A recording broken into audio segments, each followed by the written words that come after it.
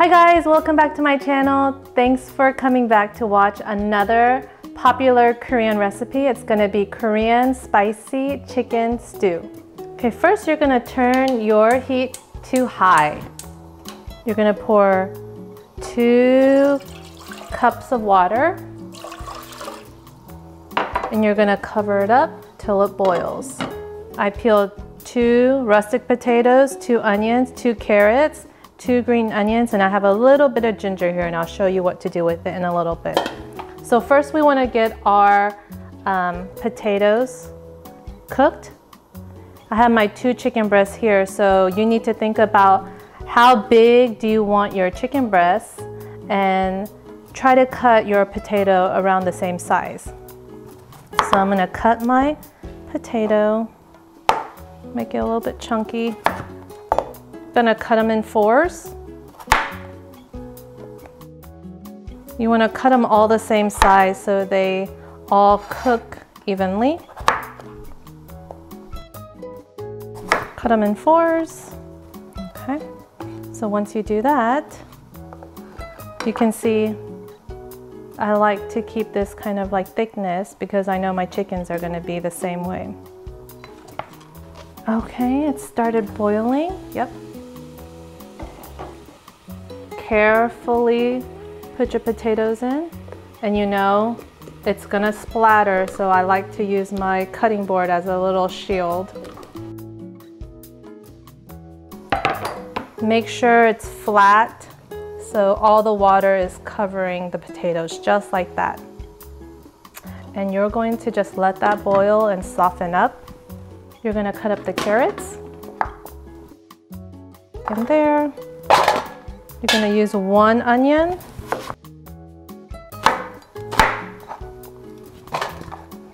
I'm gonna use some green onions. And then for this part, I'm gonna make these a little fancier so you can cut them like this.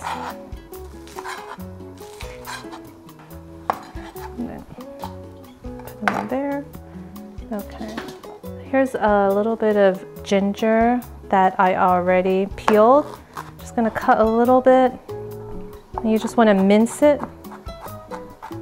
This is optional. I know not everyone has ginger and not everyone likes ginger because it's such a strong tasting root, but just mince a little bit because I like to throw it in there. And I'm gonna put that to the side. Okay. In the meantime, I see that my potatoes have a nice boil. Make sure it's boiling. I'm going to cut up my chicken. So I have two nice chicken breasts. And I'm gonna try to cut them the same size I cut my potatoes.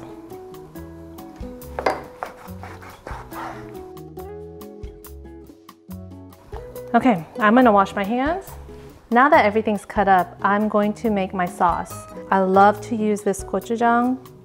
It's um, red pepper paste. So I'm gonna use three tablespoons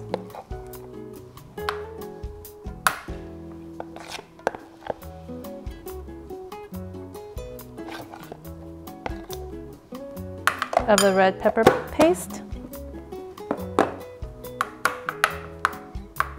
I have two tablespoons of my soy sauce that I love to use for sauces. Get that in there, mix it in really well. I got one tablespoon of minced garlic. Optional is tablespoon of red pepper flakes. I have it, so I'm just gonna use it. Optional is a dash of sesame oil. I have it, so I'm gonna use it. Don't need it though. You're gonna mix that up really well. I always like to taste the sauce. Mmm, that's very good. I'm gonna add two tablespoons of sugar.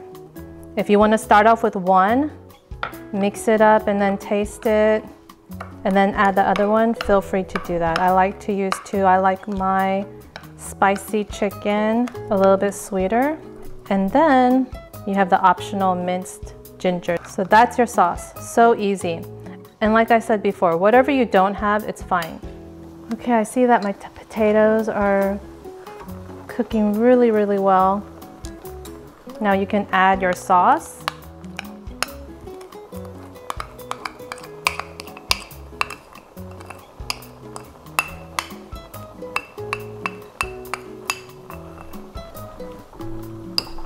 Give it a good mix.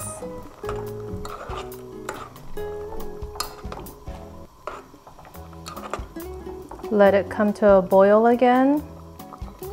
Once it comes to a boil, you can add all your chicken. And again, I like to just carefully put it in. I use my cutting board as a little splash protector. Make sure that's all evened out.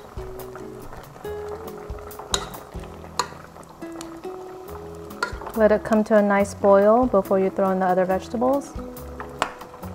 Now my mom makes it with a whole hen. She'll cut it up with the bone and everything, but that's not a simple dish. I wanted to show you how you can make a simple Korean dish with what you have at home. The rest of your vegetables are ready to go in. You have your onions that you cut up, the carrot, and your scallions. Just go ahead and coat it You want to keep the chicken down there. The other vegetables can just stay on top. I like my carrot crunchier, so I like to keep it on top. If you want your carrot mushy like your potato, then you can uh, use a bigger pot and have it on the bottom. But I just like to keep it just like that. The green onion is just to make it look pretty. And then you just cover it up for about 15 minutes.